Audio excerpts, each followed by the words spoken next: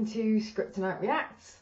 I'm Scriptonite. Today we're going to be watching season 3, episode 12 and 13 of The Expanse. If you're watching this on Patreon, I'm actually watching the final two episodes as one feature length episode. So we're going to have a real treat this week.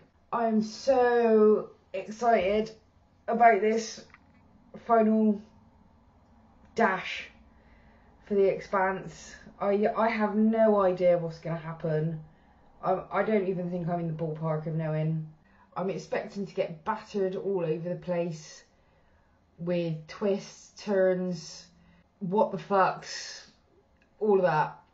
Last episode was really for me one of the most beautiful episodes of the entire series from the cinematography, um, the entire episode being effectively zero G, the character moments, you know, particularly Ashford and Camina and Tilly, and I feel like it really gave a chance for characters that we maybe hadn't seen shine in quite that way to do so, and I felt that particularly strongly with Tilly Fagan and with Ashford and Camina.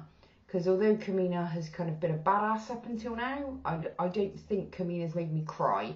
And those moments with her and Ashford, I really love dialogue where you have two characters giving differing arguments and you find yourself nodding along with each. And I think that's a real gift when writers are brave enough not to present an obvious you know, this is the right argument and this is the wrong argument, but to really create in you um, a real understanding and, and a deep empathy with where that character is coming from, why they're presenting that argument, and that actually both arguments can be right, both motives can be right, and that's what makes making decisions so tough sometimes because you're not just deciding between a good thing and a bad thing, you're you're deciding between two good things that could have bad outcomes and, and trying to balance those things off against each other, which feels much more real world to me, even though we're set in a, sci- a you know a sci-fi context. I will never, ever, ever, ever, ever be over Anna rescuing Naomi. That took a turn I did not expect it to, and it lights me up every single time I think about it. There is a grit to Anna she's not just like a pacifist or like a sort of goody two shoes. She is willing to like properly get down and dirty when when it, righteousness demands it, and I'm all for that. So that was fantastic. Obviously, Ashford's speech destroyed me. Absolutely destroyed. It, I have not felt, I don't think, that particular wave of emotion since the Somnambulist, when Naomi went out to um, let people onto the ship when we could only take like 50 and the sacrifice that all of the belters made on Ganymede at that point that was how I was feeling again of like oh god this is you you know you've you've sort of been building up to expect something awful to happen and then someone does something really wonderful. And it's just yeah, enlivening good for the soul. We're in a really sticky situation now because jim thinks that he has seen the end of everything. As we discussed at the end of last episode i don't know if jim saw the end of the world as we know it or if he was seeing the end of the world as in what destroyed the previous civilization, which it looks like the proto-molecule is there to bring back. If they're one in the same, because the civilization that the proto-molecule exists to bring back is actually humanity and we're in a loop, or if it, it's just as it is, it's the end. He's somehow seen space-time in it although we saw the proto-molecule stuff in reverse, we were looking at the future. We don't know, is the point, but I guess we're gonna at least start addressing some of the questions that need to be asked about that um, in this next couple of episodes, even if we don't get full answers. Bobbie is obviously going to have to take care of our Jim because those Martians are getting a bit jumpy and a bit trigger happy.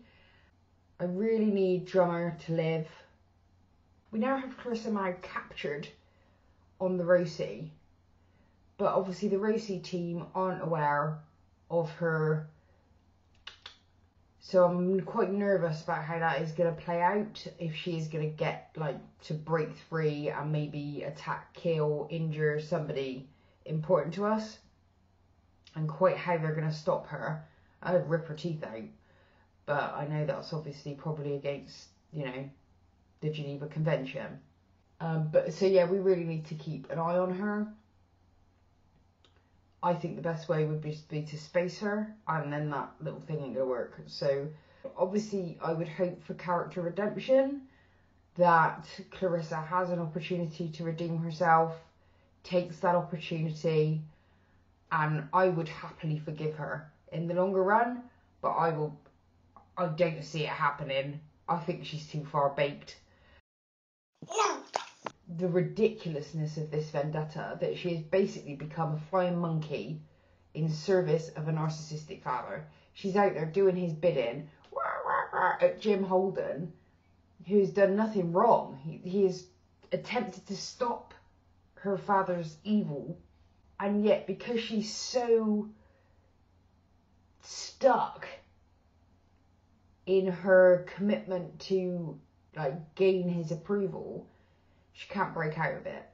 If she can't break out of it, I think ultimately she will just be such a danger that she ends up being killed. Either killed in self defense by the crew or killed in the attempt to pursue her vendetta somehow. The, those are sort of the I think the, the negative endings for Clarissa, and there is a possibility that she could have an experience which breaks her out of her current mindset, that would be great. I would really, really love that for the character. It would be nice to feel something other than loathing for Clarissa.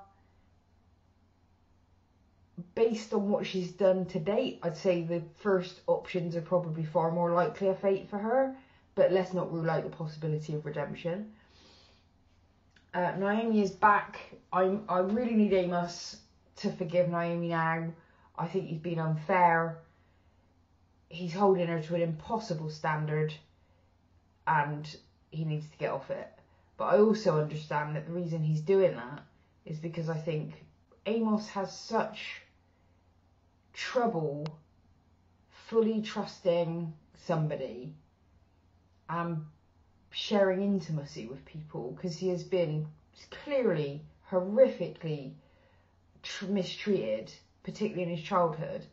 And I think once you've burned Amos, it's going to take an awful lot for him to be able to open up to you again because, you know, he built those barriers for a reason.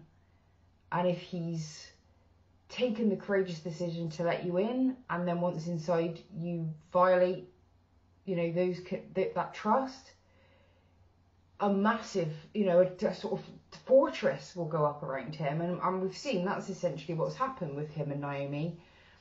And so I do keep reminding myself that although I'm frustrated and that I can see he's being unfair and unnecessary in the way that he's kind of holding her at arm's length, I can actually also completely empathise with the reasons he has internally, um, the sort of internal character logic of, of him doing that. So it's really great writing because even though I'm wanting to be served something up, actually the way the writers have done it is, is actually far more realistic for Amos's character.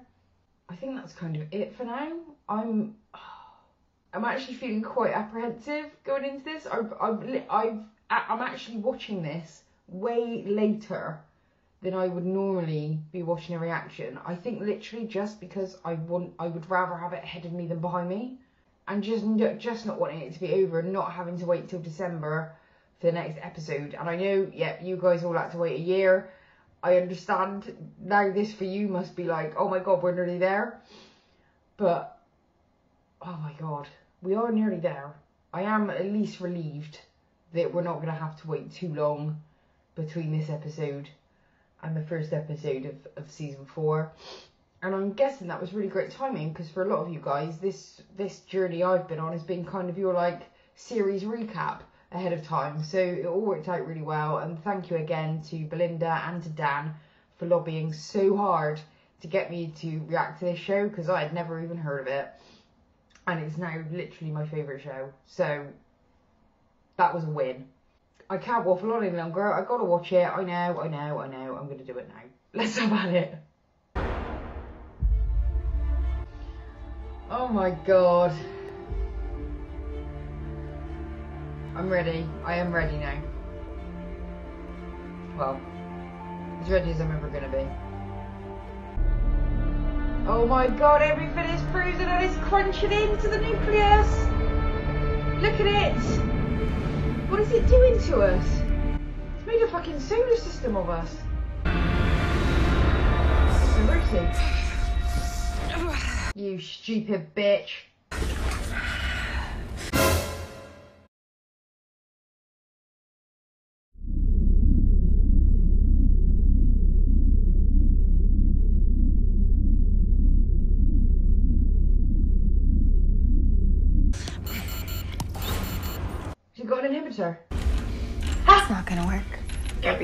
Full of blockers. How can you live with that?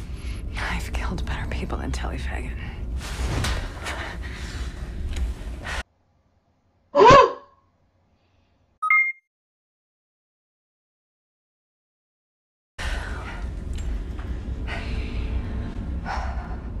I shouldn't have done that. I bet it was all her. The saloon, the fake broadcast, all of it. She tried to kill us. I don't give a shit about you. It was about Holden. Revenge for her father. I've known people like her. Keeping her around is not gonna work. Mm, Take her to the Thomas Prince. They could lock her up. It'd be easy if I put her down. No. No. You're not gonna. You're not gonna shoot her. Well, what if I override the auto doc to do an overdose? It'll be painless. No. This one won't be grateful for your mercy. Well, it's not about her. It's about us.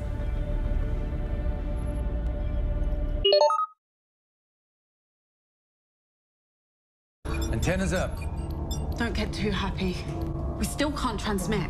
Transponder signals being received. At least we now know where all the other ships are. What about Holden? Yeah. I don't think Holden left on his own. Martian skiff did, though. Maybe they took Holden with them. It's docked at the Behemoth. If Holden is on that skiff, he might be with your old friends now. What? They're already there. To any ships in need, your injured are welcome on the Behemoth. We have gravity and med techs to help. Yeah, I Food are thought also Drummer was running that ship. This channel She will was. remain dedicated to fleet relief efforts. You hold the fort till we get back. Yeah, no. That ain't gonna work. I have to go. So do I. Hey, I just got my family back. Whole team then. Wow. Whole team. Don't abandon the ship! I need that ship to not fucking blow up. I'm afraid your situation has changed, and probably not for the better. I already said everything to the other interrogator, and like I told him, I want to know where my friends are. A lot of people have died. I'm not saying another goddamn word until I know my crew is okay. James Holden, in the flesh.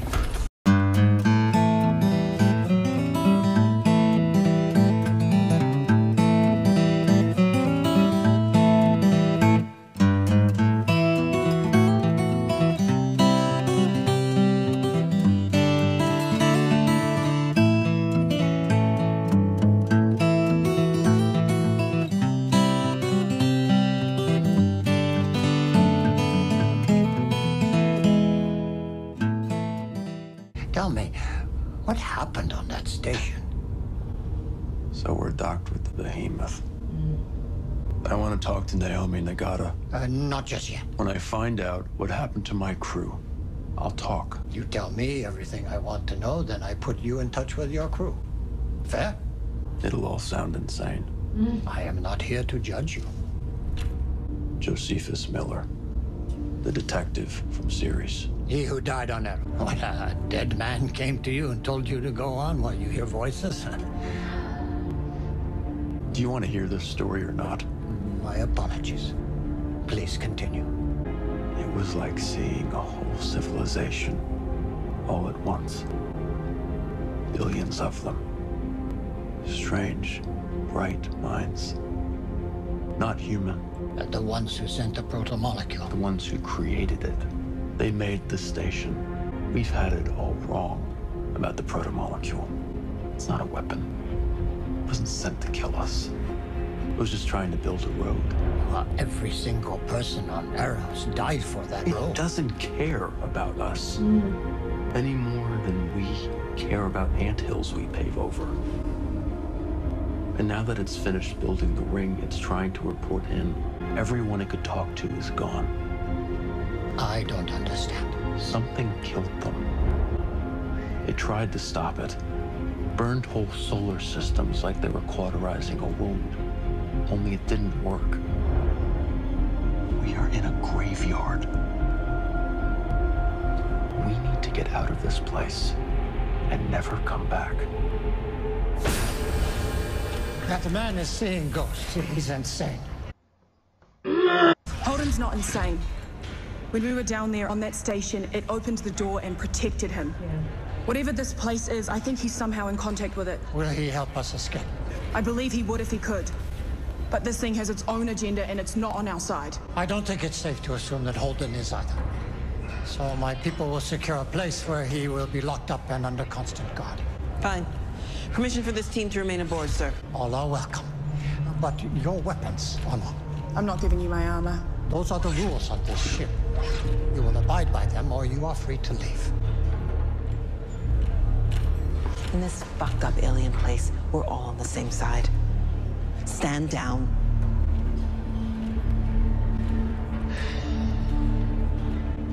I already put their gear in storage. It will be safe and secure. Yes, sir. I don't know. Nice suit. Fuck off, Diego. Pause. It reaches out 113 times a second, but no one answers. No one answers because no one who can hear is alive. So it builds the investigator, which is Miller, who is able to talk to Holden who is able to trigger the lock. I still don't think the trigger in the lock was just about Holden seeing the civilization. I still feel like he has triggered a process. Maybe he hasn't, maybe there's something else that's going to happen, but I feel like something's, you know, that my point is it's too late. I think whatever Holden needed to do, he's done. But we're still not yet seeing what the results of that are going to be, and I'm absolutely fascinated to see that. Thank God Bobbie is there to bring some common sense to this, because people, despite everything that has gone on, are still being stupid. And I love the way that um, Holden just characterised that of they don't care about us any more than we care about anthills that we destroy when we, you know, make a road. Is uh, yeah, pave over them. It's so true. Okay. Play. Come on, Camina. Regrowing a spinal cord is a delicate procedure even under the best circumstances. My people are dying, and I'm supposed to lay here and do nothing. Yes, exactly that. If you ever want to get better, get up. She was the doctor on Tycho. Oh, Camina. You'll be of use again. oh, Camina, that's not going to help. What is she doing? Camina.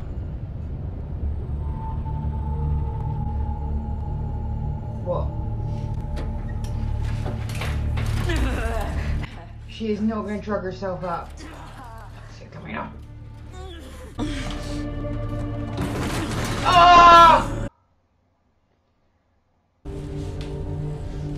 Idea to get us out of this mess. The Behemoth was designed as a generation ship. It needed the capability to send tightbeam messages over 100 light years or more. What does that have to do? It has an extraordinarily powerful communications laser which might be able to punch through the interference at the ring gate. Oh. So we could send out a call for help. This isn't magic, it's physics. It's worth a try. I'll speak to the captain of the Behemoth. Nice. Be of value. Delta, gotta work extra hard now for keeping us alive. Do you think they do the same for us? We're not turning anyone away. We run out of synthetic blood for our goal. Uh, finally, some useful information. Report to medical units for mandatory blood donation. And do it now. We go.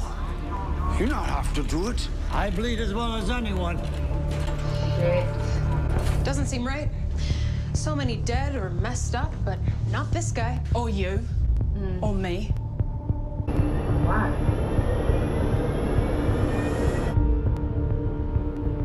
How many died? What? Keeping count? Don't. Fuck off!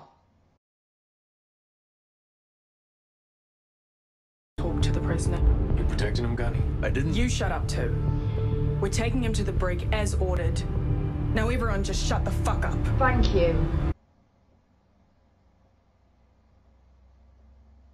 You need to lock her up. She's killed a lot of people.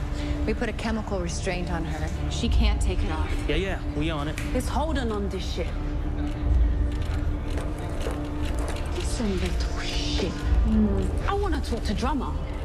Cat mash for a busman now. We hold out your weapon when you on board. Well, that's not gonna happen. Please. I know them. Okay. What happened to Drummer? No, you coming with me. Oh, fuck off. You off. deserter. You under arrest. Oh, you. Okay, I'm gonna need that gun back. It's all right. You can absolutely piss off. I was expecting this. I will get us some answers. I'm done with Diogo's bullshit.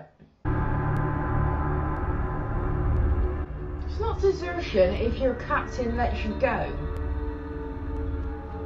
Can't retros- retroactively create a charge of desertion. Fuck off, you little creep. Sorry, I know I'm being harsh on Diogo, but I just hate it when he's like this. Agatha? Your lapdog told me I was under arrest. Yeah, well, Harari correctly judged that I might want a word with you if you came back. What happened to Drummer? She was injured. She saved my life, and I saved hers. You were expecting mutiny. Where's Holden? Did the Martians bring him here? Yeah, they did, but he's now conditioned to entertain visitors. Our problems with the grid have persisted. I didn't come here to fix your ship. And whenever that happens, everyone on this ship will asphyxiate in the dark, and that includes your crew. Uh, James Holden and Drummer. I'll come up with a plan to stabilize the grid and put together teams to implement the repairs. Good. But Then I'm going to see my friends. Now. I love that they have a blocker. Two in the head. Sasaki.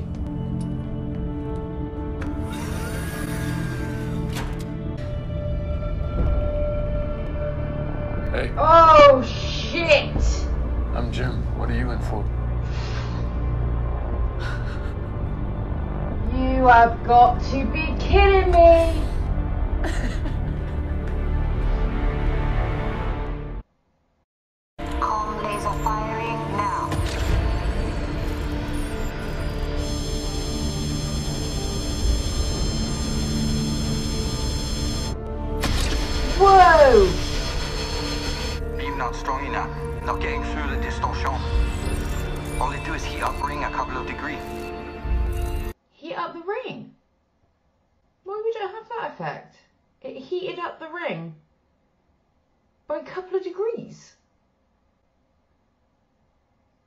Inners and Belter side by side helping each other.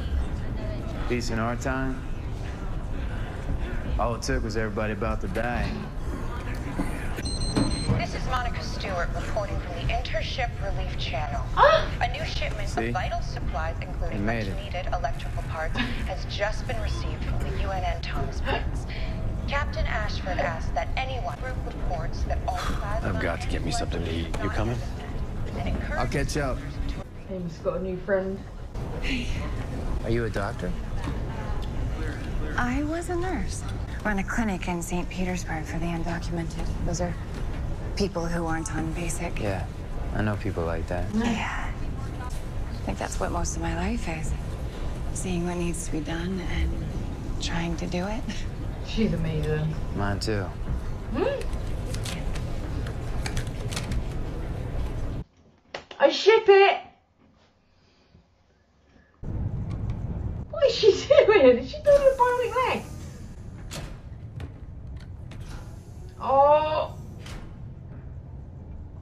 Oh, she loves her so much. Well, you never saw anyone who got hurt before. They said you were injured, but I didn't. I sort of need a favor. This is the wrong kind of power pack assembly. Hmm? Holden is here. If I could just talk with him, then maybe he can help.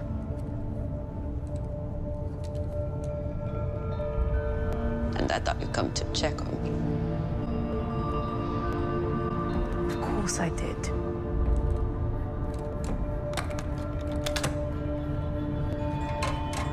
I can make this work. I'm glad you're back.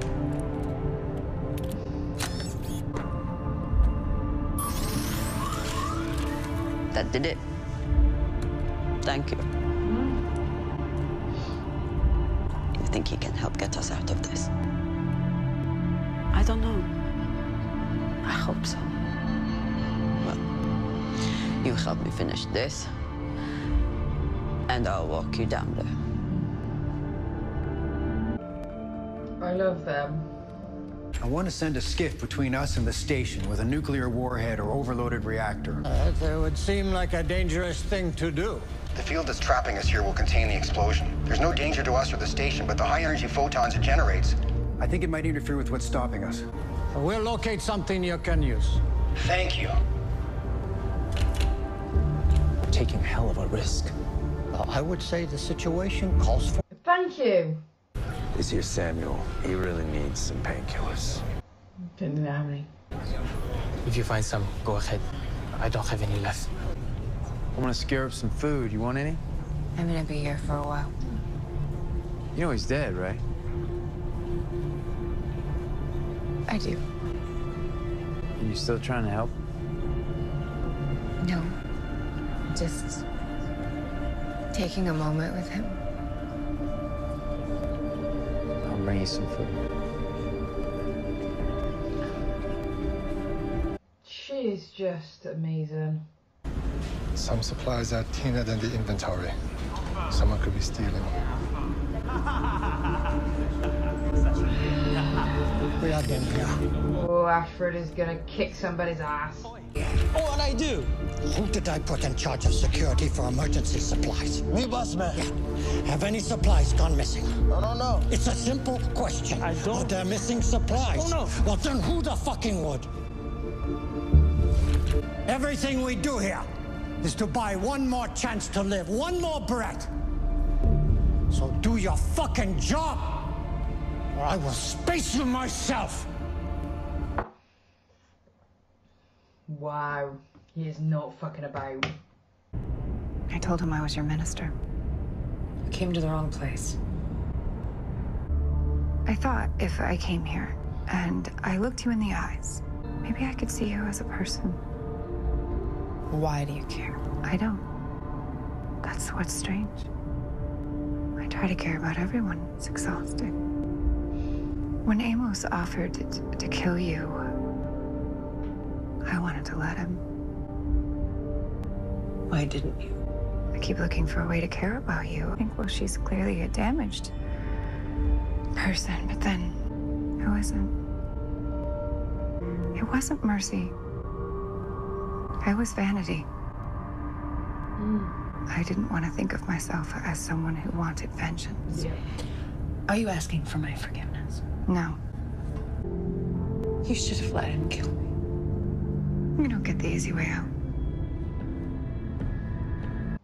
Where's Jim?